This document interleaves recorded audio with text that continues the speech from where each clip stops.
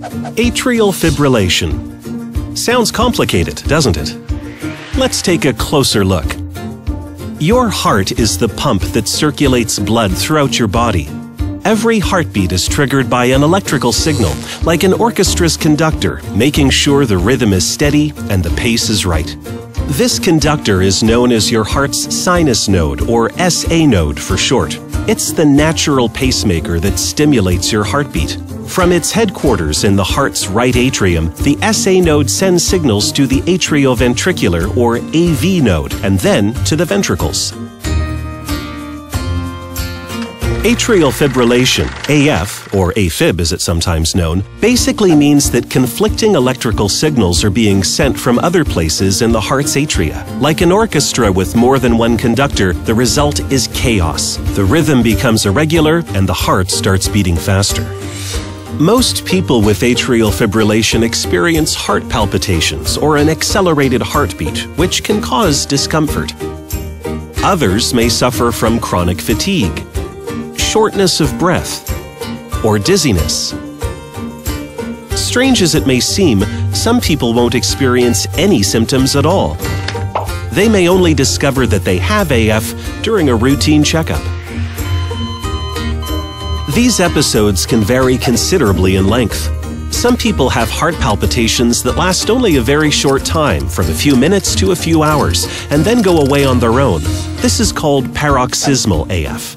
Others have what is known as persistent AF, AF that lasts for more than a week at a time and doesn't go away on its own. Medical treatment may be necessary to bring the heartbeat back to normal. There is another chronic form known as permanent AF. This is when AF has been present for a long time and it is no longer possible or desirable to get the heartbeat back to normal. As we age, the risk of developing atrial fibrillation increases. But AF, which is the most common irregular heart rhythm, can also affect young adults, even healthy ones. Many conditions can lead to AF. The most common is high blood pressure, also known as hypertension. Others include heart valve problems, hyperthyroidism, and heart failure, which means the heart can no longer pump blood effectively. Drinking alcohol, especially in large quantities, can also trigger AF. But sometimes there is no obvious cause of AF.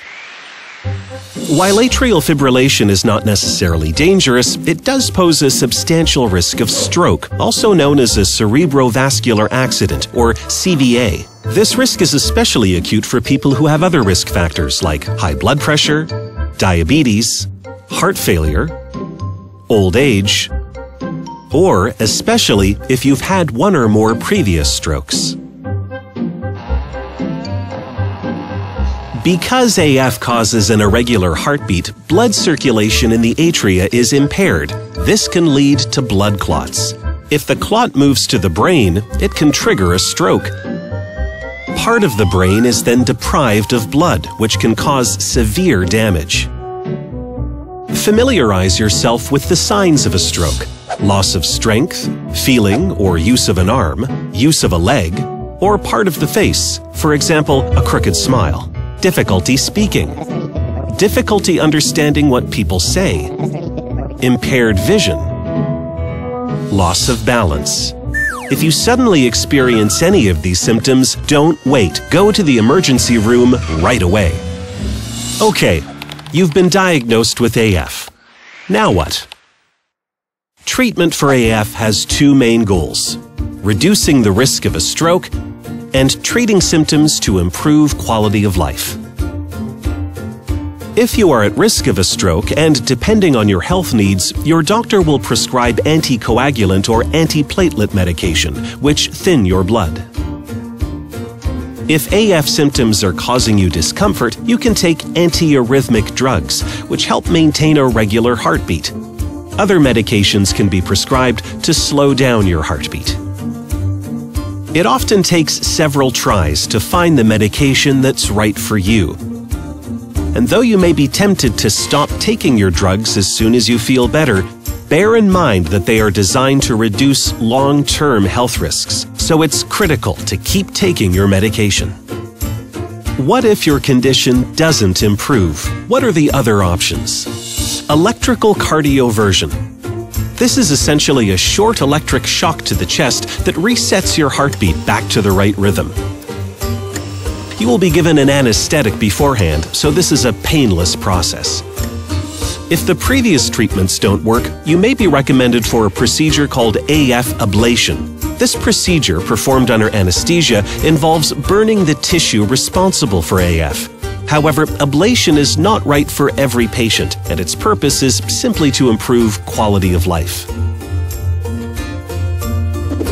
Finally, an artificial pacemaker can be implanted and an AV node ablation performed. The AV node is the command center for the electrical impulses between the atria and ventricles. By eliminating the node, your heart will stop sending signals, both good and bad, and the artificial pacemaker will take its place, controlling your heartbeat permanently. What's the take home message? If you think you are experiencing symptoms of atrial fibrillation, don't wait. Consult a healthcare professional immediately. Treating AF is essential to reducing the risk of a stroke and improving your quality of life.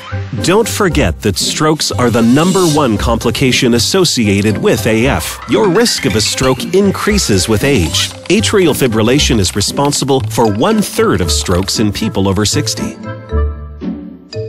And remember, medical treatment can't take the place of a healthy lifestyle. Good habits are essential to reducing the risk factors associated with atrial fibrillation. It's your health.